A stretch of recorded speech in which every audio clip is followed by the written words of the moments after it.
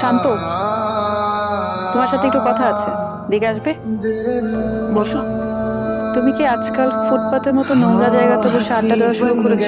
একটা কাজ কর। আজকে আমাদের বেডরুমে যাওয়ার আগে বাইরের ওই ওয়াশরুমটাতে গিয়ে কাপড় চোপড়গুলো ছাড়বে। তারপরে এসো। সত্যি কথা বলতে তোমার এইসব জিনিস না আমার সহ্য হচ্ছে না। আমি বেটার ওই পাশের বেডরুমে ঘুমাবো আজকে। আর ওই বেডের বিছানা তো শক্ত।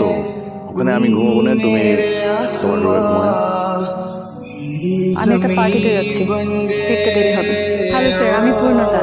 থ্যাংক ইউ সো মাচ আপনি আপনার সুন্দর পার্টিতে আমাকে ইনভাইট করেছেন। আমি রিলি গ্ল্যাড আপনি কষ্ট করে আসছেন আপনাকে অনেক ধন্যবাদ। আপনার সাহেবকে দেখছি না?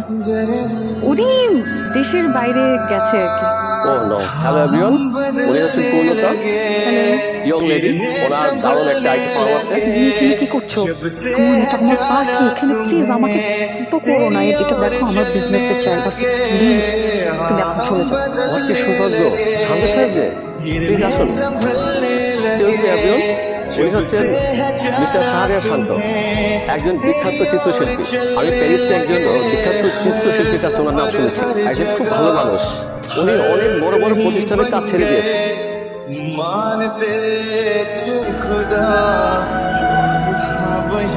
ইন্টেরিয়র ডিজাইনারের সাথে যোগাযোগ করেছেন?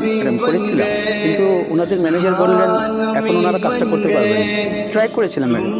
কিন্তু ওনার ওনারা খুব ব্যস্ত আছে একটা কাজ করো আগামীকালকে ওনারের সাথে আমার একটা মিটিং সেট করো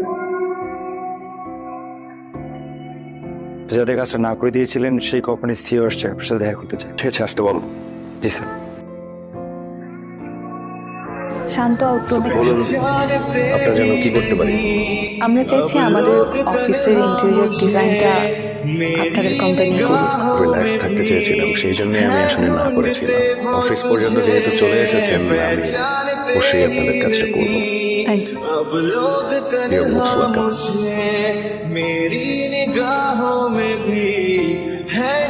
ढूंढते वो तुझे हम ढूंढते